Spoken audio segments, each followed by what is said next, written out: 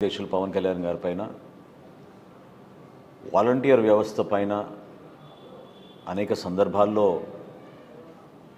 పవన్ కళ్యాణ్ గారు చెప్పిన కొన్ని విషయాల్ని ప్రస్తావిస్తూ వాలంటీర్ వ్యవస్థలో ఉన్న ఒక వాలంటీర్ తోటి ప్రభుత్వం కుట్రపూరితంగా బలవంతంగా ప్రతిపక్షాల్ని భయపెట్టే విధంగా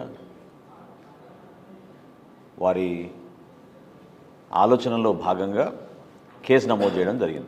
ప్రశ్నించినందుకు మా పై- మా పైన కేసులు పెడితే మేమే భయపడేది లేదు. న్యాయస్థానంలో తప్పకుండా మేము పవన్ కళ్యాణ్ గారు హాజరవుతారు చెప్తారు విషయాలు.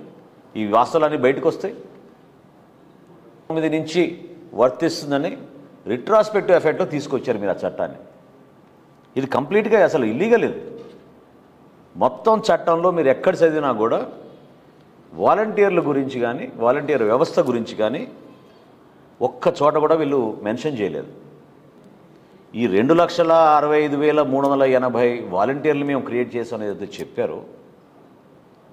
లక్ష రెండు వేల ఎనిమిది వందల ముప్పై ఆరు వాలంటీర్లు. మరొకసారి చెప్తున్నాను లక్ష రెండు వేల ఎనిమిది వందల ముప్పై ఆరు వాలంటీర్ల డేటా అసలు అప్లోడే కాలేదు. వీళ్ళు ఎవరు? ఎక్కడున్నారు వీళ్ళు?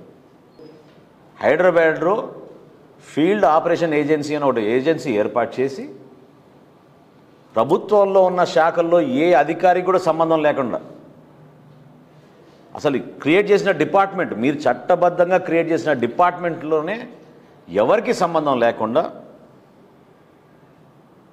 అసలు ఊహించని విధంగా సుమారు పదిహేను వందల కోట్ల రూపాయలు ప్రతి సంవత్సరం ఈ గ్రామ సచివాలయాల వార్డు సచివాలయాల వాలంటీర్ల వ్యవస్థ కోసం ఈ ఏజెన్సీ ద్వారా వీళ్ళు నడిపిస్తున్నారు. ఎవరు ఏంటి దాని బ్యాక్గ్రౌండ్ ఏంటి ఎక్కడ వాళ్ళ హైదరాబాద్లో ఆపరేషన్స్ నడుపుతున్నారు ఎంతమంది ఎంప్లాయీస్ ఉన్నారు ఎక్కడి నుంచి వచ్చింది వీళ్ళకి ఆ టెక్నికల్ ఎక్స్పర్టీజు దీన్ని మనం ప్రశ్నించాం. పదిహేను వందల అరవై కోట్ల రూపాయలు ఏదైతే వెచ్చిస్తున్నామని చెప్తున్నారో మొన్న రాష్ట్ర ప్రభుత్వం ప్రవేశపెట్టిన బడ్జెట్లో కూడా ప్రొవిజన్ ఎక్కడ లేదు. ఎక్కడైనా వీళ్ళు వాలంటీర్స్ కోసం పదిహేను వందల అరవై కోట్ల రూపాయలు మేము వెచ్చించబోతున్నామని ప్రొవిజన్ పెట్టారా? అది లేదు. ఎందుకు యువతని ఈ విధంగా మోసం చేశారు? జనసేన పార్టీ నుంచి మేము ఈ వాలంటీర్లని అందరినీ కూడా మేము చెప్పేది ఏంటంటే వ్యక్తిగతంగా మీ పైన ఎటువంటి దురుద్దేశంతో కాదు. మేము మాట్లాడేది ఈ వ్యవస్థని దుర్వినియోగం చేసుకుని పవన్ కళ్యాణ్ గారు లేవనెత్తిన అంశాల్ని మీరు జాగ్రత్తగా విని ఆలోచించండి.